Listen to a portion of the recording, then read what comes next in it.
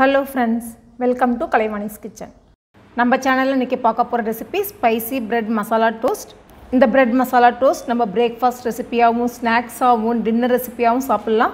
வாங்க ஃப்ரெண்ட்ஸ் இப்போ அதை எப்படி செய்யறதுன்னு பார்க்கலாம். ஃபஸ்ட் இந்த பிரெட் மசாலா டோஸ்ட் செய்யறதுக்கு ஒரு கடாயில் ஒரு டேபிள் ஸ்பூன் அளவுக்கு பட்டர் சேர்த்துக்கோங்க. இந்த பட்டர் மெல்ட் ஆக ஆரம்பித்த உடனே ஒரு மீடியம் சைஸ் வெங்காயம் நல்லா பொடியாக நறுக்கி சேர்த்துக்கோங்க. இதை ஜஸ்ட் மிக்ஸ் பண்ணிவிட்டு இதில் ஒரு அஞ்சு பல் அளவுக்கு பூண்டை நல்லா துருவி சேர்த்துக்கோங்க. அரை இன்ச் அளவு இஞ்சி அதையும் நல்லா துருவி சேர்த்துக்கோங்க. ஒரு பச்சை மிளகா அதையும் பொடியாக நறுக்கி சேர்த்துக்கோங்க. ப்ரெட்டில் வந்து உப்பு சேர்த்துருப்பாங்க. அதனால இந்த மசாலாவுக்கு தேவையான அளவு மட்டும் நம்ம உப்பை சேர்த்துக்கலாம். இப்போ இதெல்லாம் சேர்த்து நல்லா வதக்கிக்கோங்க.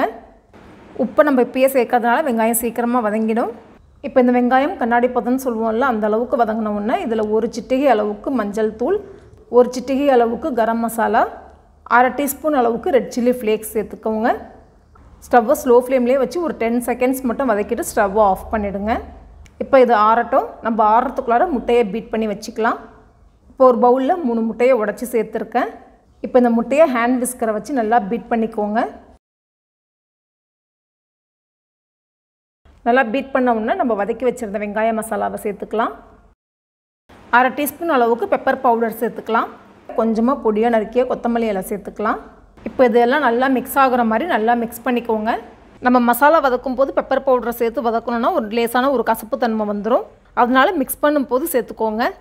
அடுத்ததாக ஒரு தவாவை சூடு பண்ணிவிட்டு அதில் ஒரு அரை டீஸ்பூன் அளவுக்கு பட்டர் சேர்த்துக்கிறேன். இப்போ நம்ம ரெடி பண்ணி வச்சுருந்த மிக்சரை நல்லா கலந்து விட்டுக்கோங்க. இப்போது ஒரு ஸ்லைஸ் ப்ரெட் எடுத்து இந்த ப்ரெட்டை ரெண்டு பக்கமும் நல்லா இந்த மாதிரி டிப் பண்ணிவிட்டு இந்த தவாவில் சேர்த்துக்கோங்க.